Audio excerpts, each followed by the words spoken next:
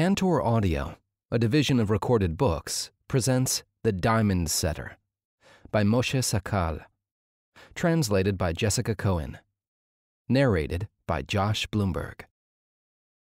One day, in the summer of 2011, a Syrian citizen sneaked across the border into Israel, not far from the town of Majd al Shams.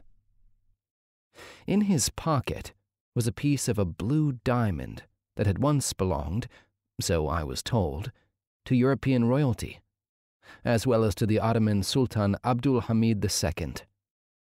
After entering Israel, the young man took a bus to Tel Aviv. He had not told anyone in Syria of his plans, and almost no one in Israel knew where he'd come from. Who was this man, and what was the purpose of his trip?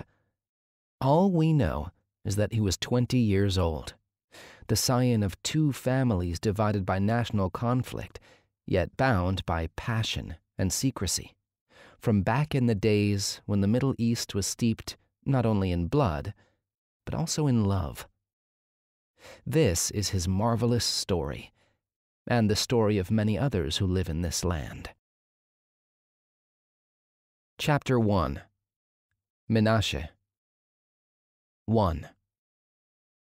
On a summer afternoon in Tel Aviv, Achlama Javahiri walked down Allenby Street on her way to a jewelry shop on Plonit Alley.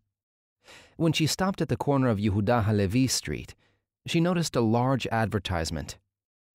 Tzipora Uzan from Kiryat Gat answered the phone and won 100,000 shekels. The picture showed a woman holding a huge check that said 100,000 new Israeli shekels.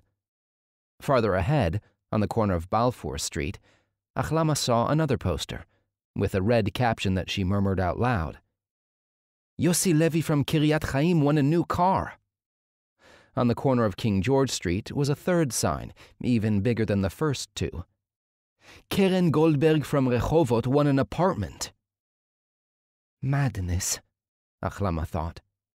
It used to be people who won the lottery would put a paper bag over their head, with holes cut out for the eyes so no one would recognize them. Now someone wins the lottery and they plaster his picture all over town. And next thing you know, he's got crooks and scoundrels and the evil eye after him. She paused, then concluded, The evil eye is the worst. Achlama had reached Plonit Alley by now, and she stopped outside the jeweler's storefront. Before knocking on the door, she put her nose up against the window and squinted. When she heard a buzz, she pushed the door open and walked in. Ah, the brand new widow, came the jeweler's deep voice. Good day to you. Achlama blushed and returned the salutation. She had come to the shop because she had discovered something shocking which she felt an urgent need to share with Menashe. She glanced at me and said hello. I looked down and readjusted the safety glasses on my nose. My uncle's protective glasses were so large that they covered almost his entire face. The torch he held in one hand spewed fire onto a gold ring that was nearing its melting point. With the other hand, he gripped a tiny piece of gold between a pair of tweezers, preparing to weld it onto the ring. Achlama watched him tensely. The ring glowed red, and a tiny crater bubbled up on its surface. The jeweler quickly attached the piece of gold to the crater and welded it to the ring, then dipped the ring in a cup of clear liquid, where it sizzled briskly. He lifted it out with the tweezers and placed it delicately on his workbench. What are you in the market for today? he asked with a smile. Achlama looked at the main display table. Under the glass were rows of gold chains with pendants set with garnet, turquoise, amethyst, and citrine. A small red striped ceramic dish contained antique rings of yellow, red, and white gold, some of them diamond studded. Gold earrings set with turquoise stones were arranged in a nearby case. And in the last case, adjacent to the jeweler's bench, Strings of white and gray pearls with gold and silver clasps were laid out in circles inside each other. I'm just looking today, said Achlama. She glanced at the turquoise earrings. The eye covets what the heart desires, said the jeweler. Achlama sighed. Really, Menashe, I'm just looking. You are welcome to look as much as you'd like, the jeweler said. Just remember that everything is for sale. He accentuated and drew out everything. Menashe opened a few small wooden boxes of gemstones and chose one stone from each box. He compared them all, then carefully arranged them on his workspace with the tweezers. He pierced nine small holes in a rectangular gold board and began setting the stones on the board in three rows. And he made the breastplate of cunning work, like the work of the ephod, the jeweler intoned, quoting from the Bar Mitzvah Torah portion he had recited 49 years earlier. Of gold, of blue, and purple, and scarlet, and fine twined linen. And they set in it four rows of stones. The first row was a sardius, a topaz, and a carbuncle. This was the first row. And the second row, an emerald, a sapphire, and a diamond. And the third row, a ligure, an agate, and an amethyst. When he got to the word amethyst, achlama, he pinned his blue eyes straight on his customer. She turned her head awkwardly and looked around. There was a polishing machine tucked away in an alcove where I sat listening quietly while I polished rings, an apprentice's job. The air conditioning soon dried up Achlama's sweat, and her breath steadied. She approached the jeweler's bench, carefully avoiding the thorny cacti growing in planters along the perimeter of his workspace. She took a deep breath and was about to say something, but then she looked at me. You can speak openly, Menashe told her. That's my nephew, Tom. He's helping me out in the shop.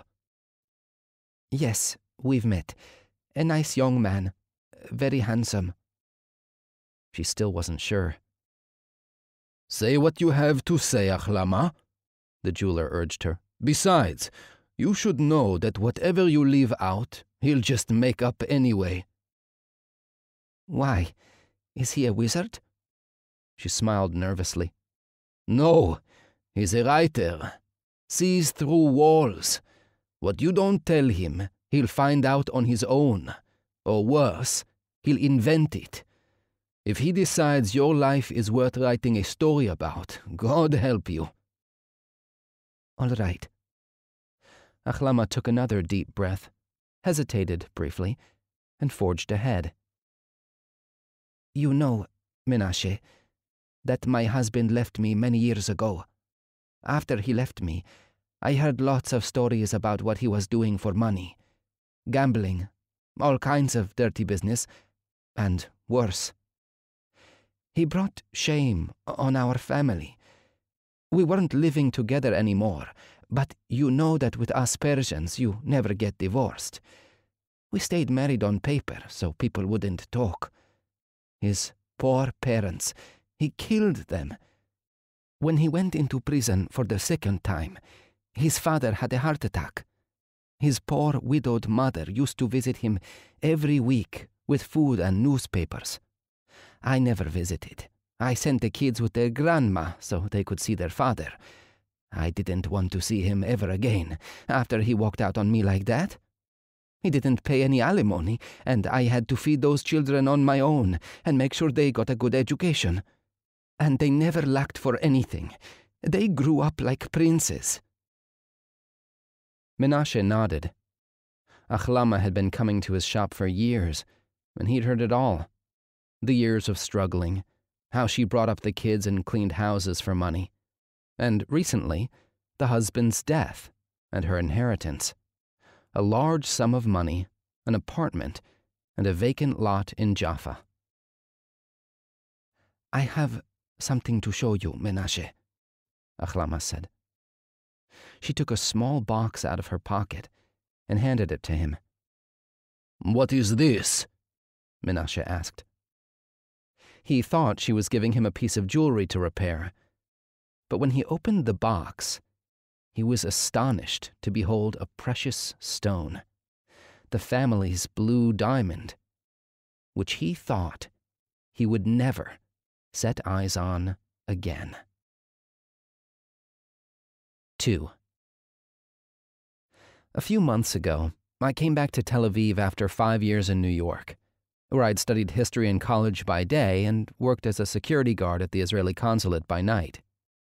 I spent my long shifts in the dark consulate offices on 2nd Avenue and 42nd Street, sitting opposite a flickering television screen with my textbooks, seminar papers, and flashing cell phone.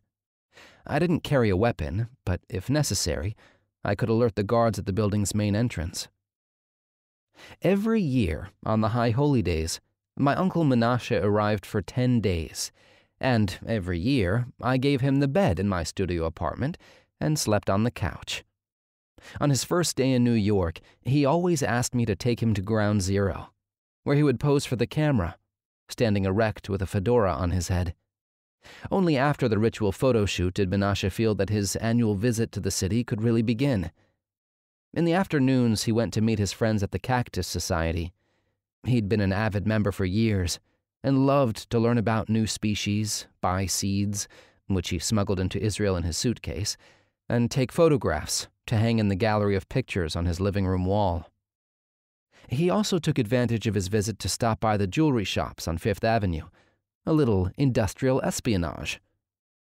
When he went into one of these stores in his starched suit, dapper yellow fedora, open necked silk shirt, red gold pendant around his neck, and white gold band inset with Persian turquoise on his finger, the proprietors recognized immediately that this was a customer who knew a thing or two about jewelry, and they treated him accordingly, with suspicion and respect.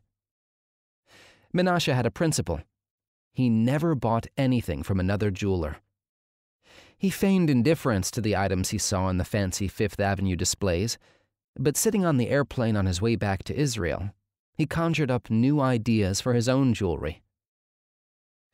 Menashe always found a backhanded way to ask me about my maternal aunt Rachel, his ex wife. When I was 10, Rachel found God and moved to Jerusalem. She took Maya, their only daughter, with her. That was in 1991, the year when, I later learned, Menashe's shop was robbed, and he lost the blue diamond that Achlama was now attempting to return. I am the only person who is still in Menashe's life from his old family. Maya was married off to a Hasid and moved to London a few years ago, and she has almost no contact with her father. I see Rachel occasionally when I visit my family in Jerusalem, but I don't tell Menashe about her. There's hardly anything to tell. A few years ago, Menashe left his native Tel Aviv and built a house in the rural town of Gan Yavne. Every morning he drives to the shop on Plonit Alley in his old Mazda. As a child, I sometimes heard stories about various women in his life after he and Rachel separated, but as far as I know, he never had a significant relationship again. After I came back from New York, I started editing Hebrew translations of English books for publishers. The pay was insulting. At most, I made 3,500 shekels a month, and that was only if I worked extremely fast. One day, Menashe called and said he had a proposal for me. We arranged to meet at his usual cafe on the beach, right at the edge of Jaffa, where you can look out over the Mediterranean all the way to the horizon. Tel Aviv sprawls out on the right, the rocks of Jaffa on the left, and straight ahead lies Andromeda's Rock. A plain looking rock that juts out of the water with an Israeli flag billowing on its peak. Look at the sea, Menashe said as he sipped a beer. This city is bent on destroying itself. It just keeps destroying, then building, then destroying again. But the sea is the one thing that can never be destroyed. It will be here long after we're gone, long after the city slowly sinks into the sand. I listened quietly and thought about my beloved Tel Aviv, this ragged city I had returned to after years of absence. Down on the beach, fishermen spread out a large net and slowly waded into the water until they were almost submerged. Each held a corner of the net, making sure its edges stayed just above the water so that any fish they trapped would not be able to jump back in. As Menashe's beer glass emptied, he grew dreamy and contemplative. He leaned his head on his hand, and the big turquoise ring protruded from his finger. After a long silence, he asked how I was settling back in. I said it wasn't as difficult as I'd expected, but added cautiously that I didn't think the process was over yet. What's for sure, he said, is that since you came home, I've lost my excuse to go to New York. My friends from the Cactus Society know I'm not coming this year, and they're grumbling about me being a cheapskate. I told them they're all invited to Israel. I'll take them on a night tour of the cactus garden in Holon. He plunged into silence again. An Arab boy riding a scrawny horse passed by on the beach. Was there something in particular you wanted to talk about? I asked. I'll get to that soon, Menashe said, and took an olive from a little dish on the table. He nibbled the flesh and then sucked on the pit for a long time. I've been thinking about you a lot, he said finally. You know that you're like a son to me. Of what little family I had, you're really the only one who still cares about me. Rachel doesn't care if I'm dead or alive.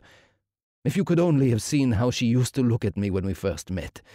She was so in love with me. I was in love too. But we were young, and we didn't know that being in love wasn't enough. And then Maya was born, and the rest you know. He sighed, then abruptly changed his tone. Listen, I want you to come and work in the shop with me for a while. Me? Yes, you. Why not? What do I know about jewelry? I've never done anything with my hands. Then I'll teach you. What a jeweler needs, first of all, is to be sensitive. Everything else can be taught. You're still young, but you've seen a thing or two in your life. You polish the words you write, and I can teach you how to polish gold.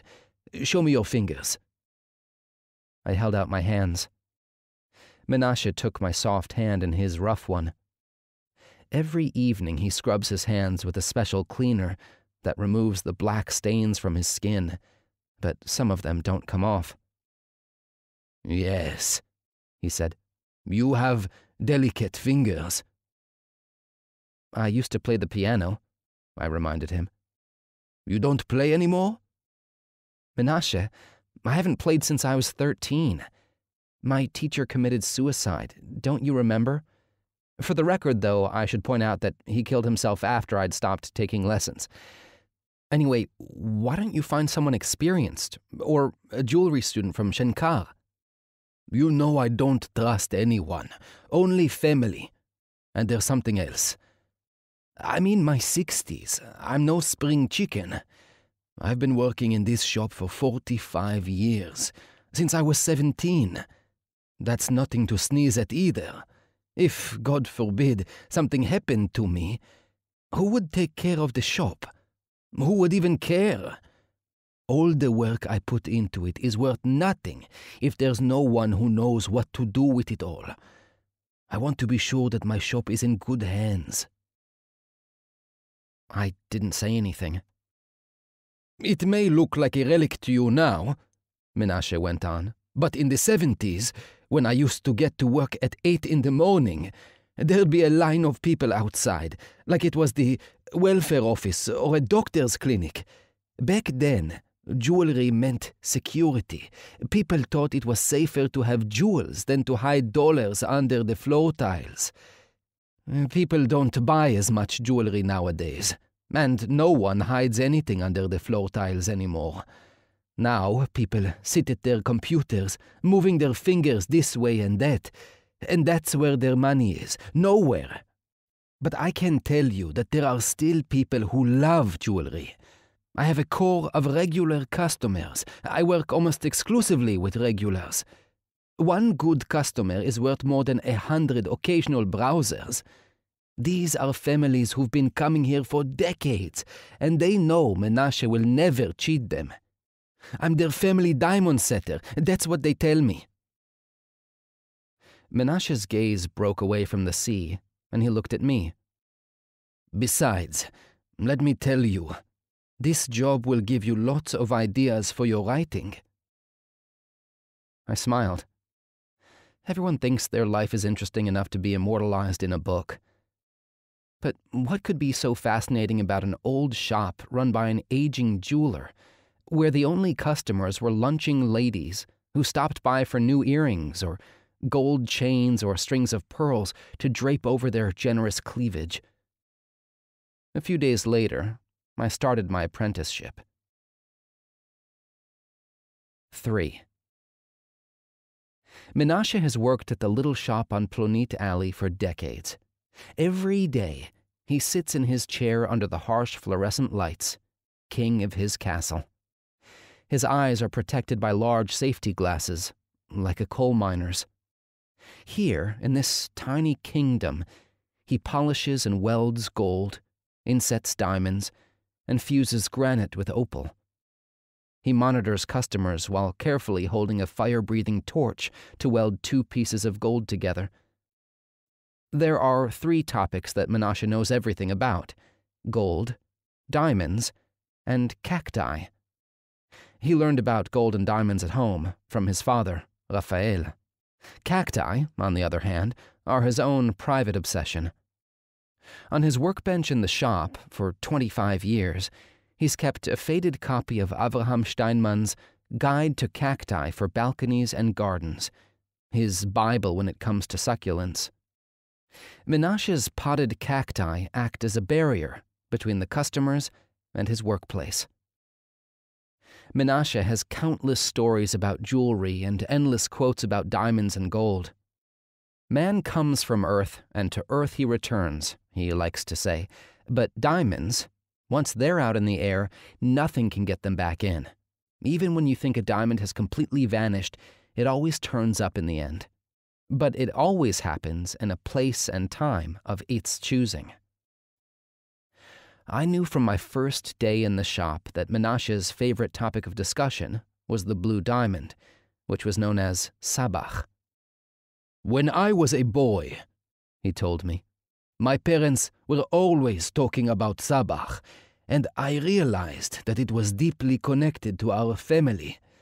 When I was a little older, my father told me that Sabakh had come from very far away, from India.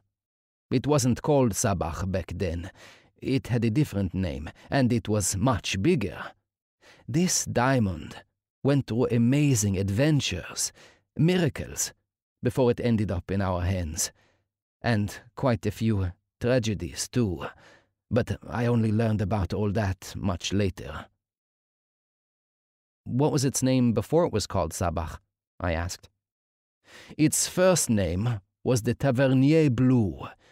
It traveled all the way from India to Europe and then to Istanbul which was still called Constantinople back then, and finally ended up with my family, but only a small piece of it. And it was cursed. What do you mean, cursed? Well, I never had any proof that it meant to harm us, and I certainly wouldn't claim that all my family's troubles were that little diamond's fault. But I'll get to that. My father, Raphael, told me that the first time anyone heard about Sabakh was in northern India, where it was inset in Shiva's third eye. But one day, someone stole it out of the statue, and ever since then, it's been taking revenge on anyone who tries to keep it. Your father didn't believe that, did he? You have to understand something. My father loved diamonds. He used to sit reading books about diamonds for days on end. He knew all the stories about Jean Baptiste Tavernier by heart. This man, Tavernier, was a big adventurer and a famous gem merchant in the 17th century. Every night at bedtime, father told me about diamonds like the Kohinoor, the Darya-i-Noor, and the great Sancy. But more than anything, he liked to talk about our diamond, our little piece of the Tavernier blue, which became Sabakh. He didn't tell me these stories just for amusement. He wanted me to understand Sabakh and care about it. He told me again and again that it was our family treasure, the only thing in the world we could count on. So, for him, the diamond was blessed, not cursed. He said Sabakh had always protected our family in Damascus, and that it would keep protecting us in Tel Aviv and anywhere else we went, as long as we took care of it. Menashe paused and looked at the photograph of his parents on the wall. You know, Tom, diamonds are just like people. Some come into the world easily, and some worry you to death by the time they're born. Do you have any idea how diamonds are born? It happens a hundred miles or more below the Earth's surface. There's carbon down there, which forms into diamonds over billions of years because of the immense pressure and the high temperatures, over 1000 degrees Celsius. The diamonds sit there for years until one day there's a volcanic eruption, and then special pipes called kimberlite carry them up to the surface. He gave me a look I'd seen before, and I knew he was about to tell one of his anecdotes. There are some diamonds, Menashe explained, that completely change the fate of the people who wear them. Our blue diamond, the Tavernier blue, belonged to Marie Antoinette before she was guillotined. During the French Revolution, it was stolen and somehow ended up in the hands of King George IV. He even wore it for his coronation. George IV was a notorious hedonist. He lost his mind when he was a young man. He was a political failure. His people hated him, even though they also admired him. And he had a miserable marriage. Eventually, the diamond was polished and sold to an English banker named Henry Thomas Hope. I'm almost positive that was his name. Anyway, they say that Hope lost everything, and his whole family died of starvation. After that, the diamond was sold to Sultan Abdul Hamid II in 1908 or 1909, perhaps even earlier. The Sultan had 13 wives and more than 200 concubines. He gave the Tavernier Blue to one of the wives. I think her name was Subia. Not a bad gift, eh? Well, it turned out to be a big mistake. Subia was involved in a plot against the Sultan. She conspired against her own husband. The Ottoman Empire was in bad shape in those days. Long story short, the Sultan's advisers told him the diamond was cursed and would bring him bad luck. So he took it back from Subia and went to a soothsayer for her counsel. She told him that if he split ten carats off the diamond, the curse would be lifted. And that is exactly what he did. He had his jeweler take off a ten carat piece, which he named Sabakh. A few years later, when the Ottoman Empire was in dire financial straits, the Sultan had no choice but to sell the large diamond. But he was adamant that he would not sell Sabakh, even though he was still afraid of the curse. One night, the Sultan dreamed that he traveled to Damascus and met a Jewish girl who sang exquisitely.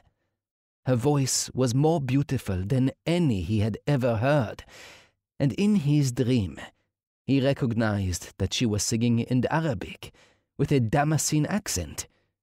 When he awoke, he ordered his emissaries to go to Damascus, find the girl from his dream, and bring her to him.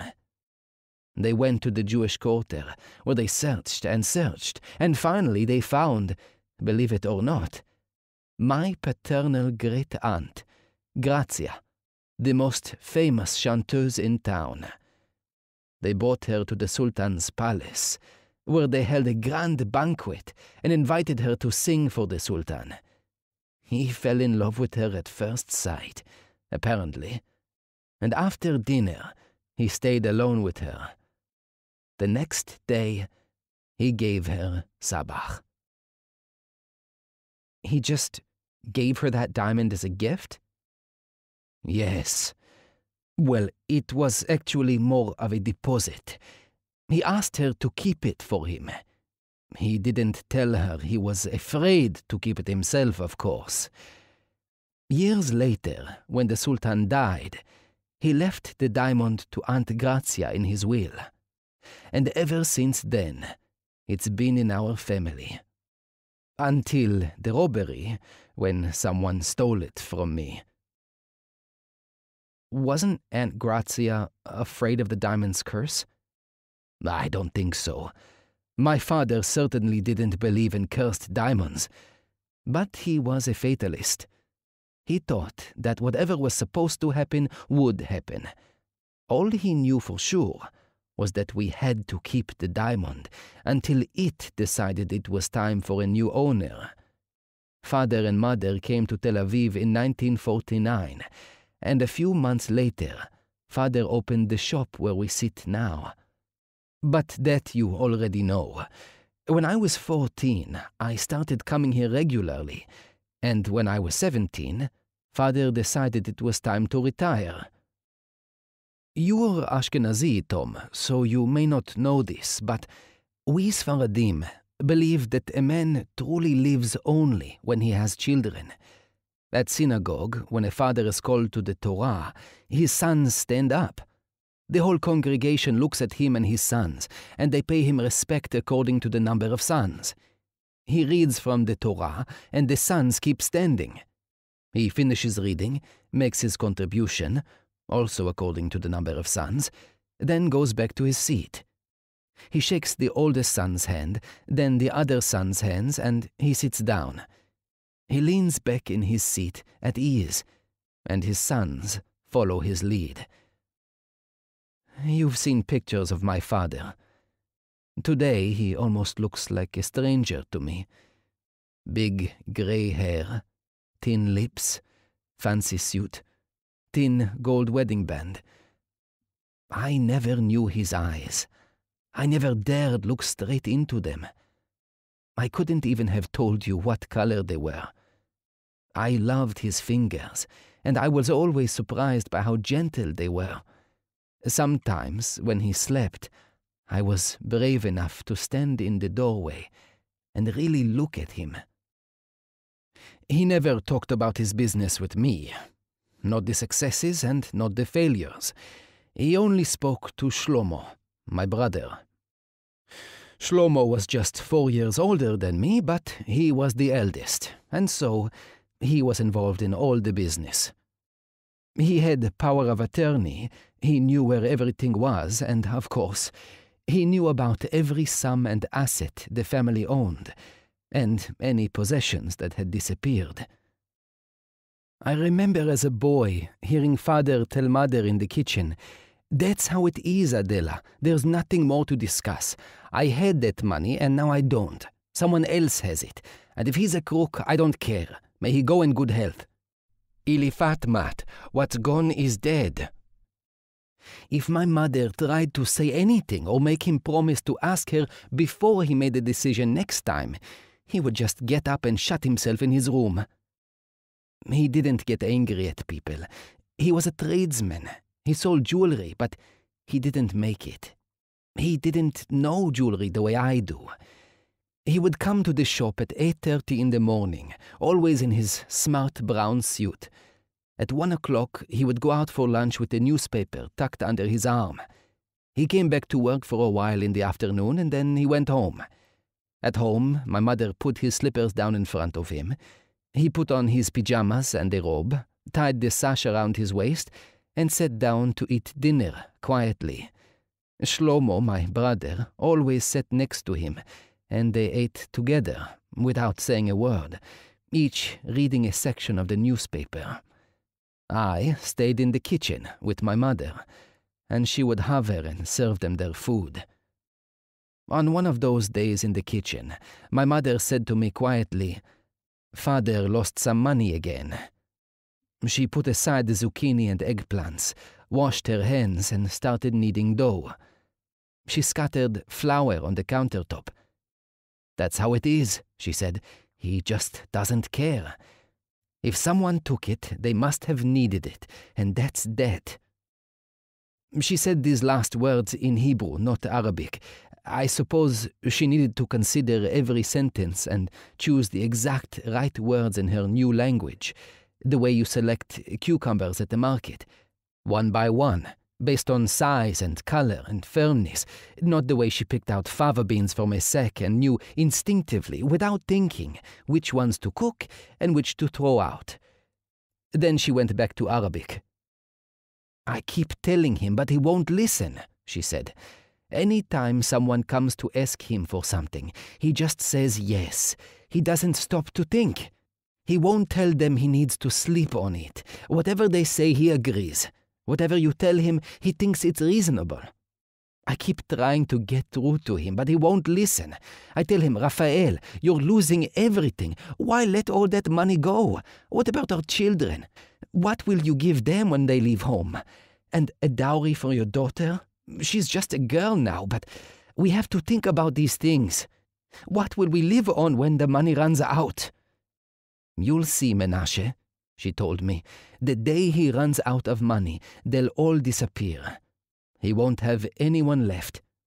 When he walks down the street now, people come up and grab him and ask him to go to lunch, and he goes. He can talk with anyone. He's an interesting man, a wonderful storyteller. In Syria, they were crazy about him, not like here, where he sits at home quiet like a fish. He can find a common language with anyone. He knows at least three languages. In Syria, he used to make up such interesting stories. Then he'd sit at home and write them down. But I worried. It's no good, a grown man leaving all his friends from work to sit at home writing stories all day. I told him, you need to get out and find a job. So he said, I'll be a teacher and he went to teach French at the Alliance Francaise in Damascus. He taught all morning, then sat at home writing, just like that. Teaching and writing, writing and teaching. I stopped saying anything because what could I say? He's so stubborn. Then my mother told me about when they left Syria. One day, she said, your father got up, left his job at the Alliance, and went to work at the Bourse. He did well in business because, to be a good trader, people have to like you. In Syria, your father was always well dressed, clean shaven, with a thick head of hair, and his shoes were always shined. He had a firm handshake, and when he shook someone's hand, he looked them straight in the eye. People trusted him. Everywhere he went, they said, Come in, Mr. Salomon, come in. He did business during the day, a little, not a lot. He liked eating lunch in restaurants, and in the evening he would come home for dinner. He has a good appetite now, too, but not like then. The food was better there. We had a good life. After they declared the State of Israel in Tel Aviv, a friend of your father's helped us. He got us laissez-passer papers and found a mover to take all our furniture. First we went to Beirut and we spent a few months there. Then they smuggled us into Israel.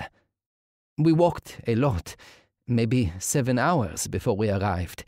Do you know how we crossed the border? In a taxi. My mother giggled. And in Israel, we took another taxi to Haifa, and from there to Shar HaAliyah where they sent all the new immigrants. Every family got a couple of beds, and your father had to stand in line for food morning, noon, and evening. It was very difficult. Afterward, we used our money to buy this apartment, but while it was being fixed up, we lived with your father's sister, Juliet, and her family. They had a house that used to belong to Arabs. They didn't pay for it. And we all lived there. My mother told me it was very crowded in my aunt's house. They already had my brother, Shlomo, and mother was pregnant with me. The apartment on Dizengoff Street wasn't livable yet. It wasn't even hooked up to the gas. Father, who had been such a bubbly man in Syria, a seasoned trader with connections high up, hardly knew anyone in the new country. I think if my mother hadn't insisted, We're moving to the apartment on Dizengoff, guess or no guess, she announced. They would have stayed at his sister's for a long time. So they moved into the apartment. It smelled like fresh paint. There were three spacious rooms, but Mother wasn't satisfied. She knew very well that some people were living in transit camps in the Ma'abarot, making do with tents or rusty shacks where the rain leaked in. She also knew that there were refugees who had lost their whole families in Europe, and they had nothing. She knew all that. Still, she wasn't satisfied. Where is the house we had in Al Sham? she would say to father. She always called Damascus by its Arabic name, Al Sham, which means the northern country. Where is our garden and the rosewater and the divan and the apple trees? Where are our wonderful feasts? We're so close to Al Sham, but it's a different world here. The food is rationed, and I have to dust the house endlessly all day long. My father didn't answer.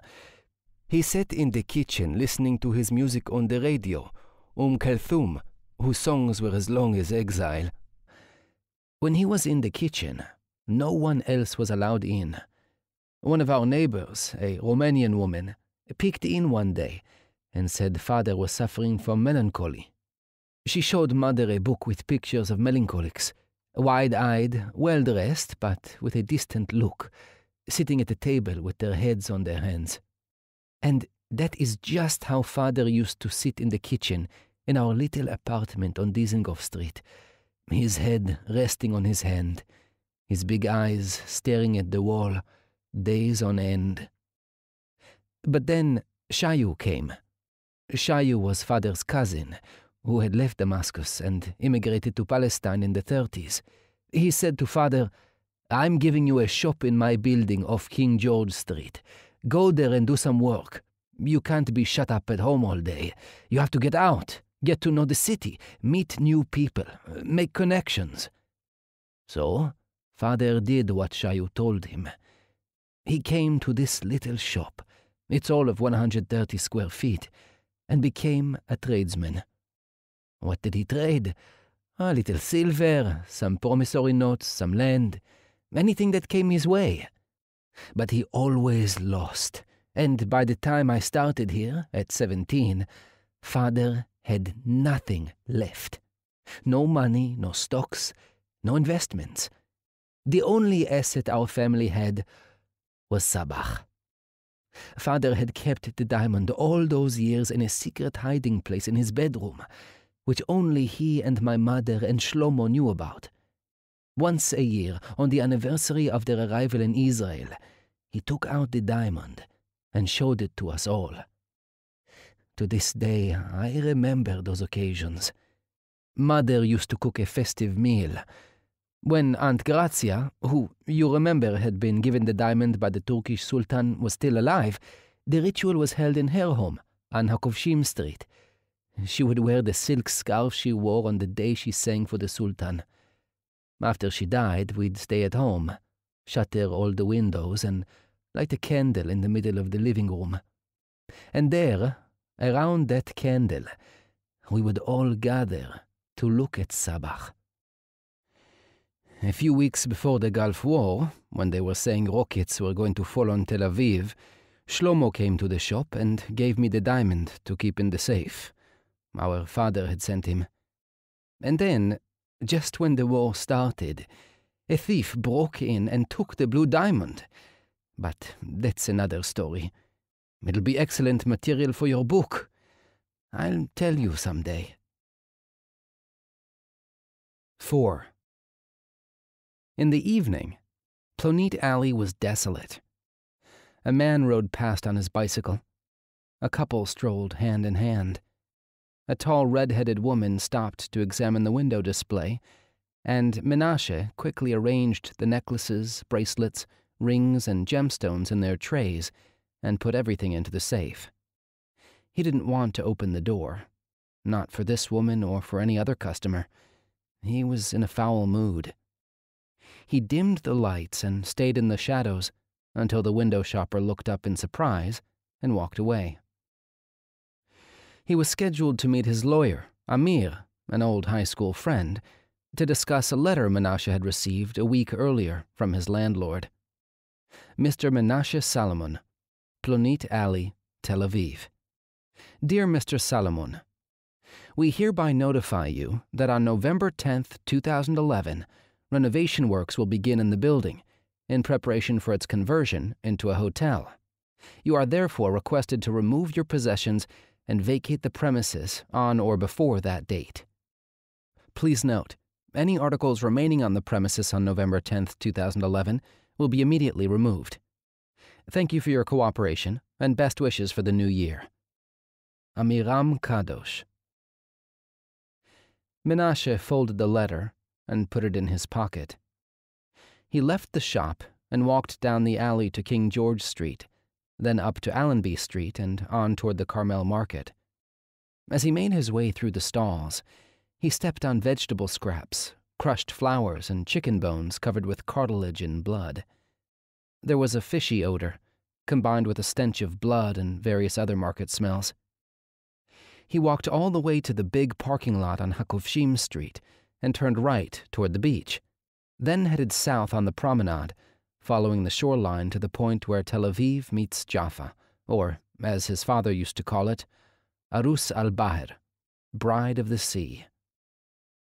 From this angle, Menashe could look out at the Jaffa port and see the Bride of the Sea facing the waves as she had for thousands of years. Jaffa's minarets pierced the sky, and its courtyards were sheltered by palm trees. The village of Menashiya had once stood here, but it had been destroyed and gradually replaced with lawns and parking lots. A few of the old buildings still remained as a vestige. Menashe kept walking along the shore until he came to the cafe where his lawyer was waiting. It was the same cafe where he and I had met on the day he asked me to come and work with him. He sat down opposite Amir, and his eyes sought and found Andromeda's Rock with its billowing flag. This is not going to be an easy case, Amir said. Did they tell you anything?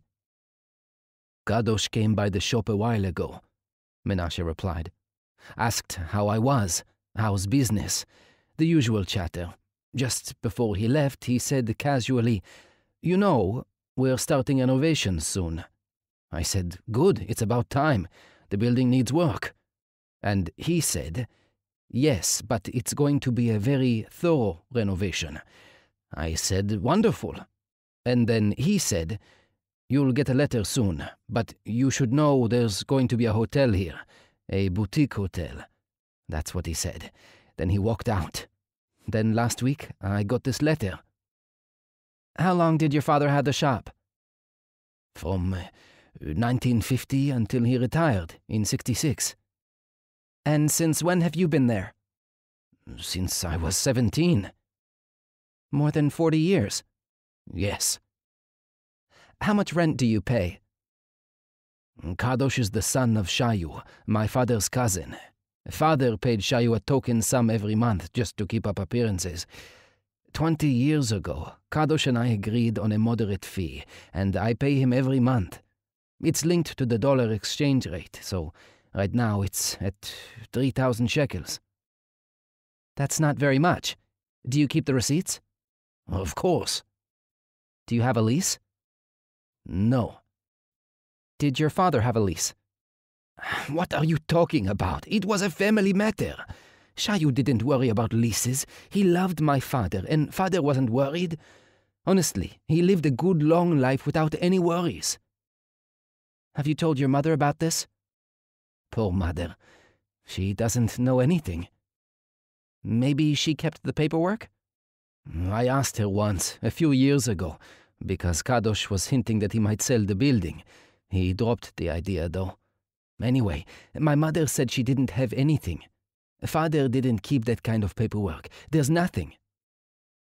In that case, it's going to be very difficult to ensure a spot for you in the building after the renovations, the lawyer explained. I'm not sure we can even get compensation. I don't want compensation, Menashe said. I don't care about that. I want to stay in my shop, boutique hotel or not. Excuse me for interfering, Menashe, but people do sometimes relocate their businesses. Couldn't you look at this as an opportunity for change? Menashe did not answer, but his eyes said it all. Chapter 2 Fareed 1 He crossed the border under cover of the commotion that erupted between demonstrators and Israeli army forces on a beautiful day, perhaps the most beautiful of his life. This was the day when he would see the landscapes and houses he had heard of like distant rumors, in the place his grandparents called Palestine. And it was all thanks to Sabakh, the blue diamond. In his pocket was a box, and in the box, the diamond. Fareed carried one small bag. It contained a few pairs of underwear and socks, two shirts, some pita, three peeled cucumbers, a map, a book, and a sweater. He wore shorts, brown shoes, and a baseball cap. We hope you enjoyed this preview. To continue listening to this audiobook on Google Play Books, use the link in the video description.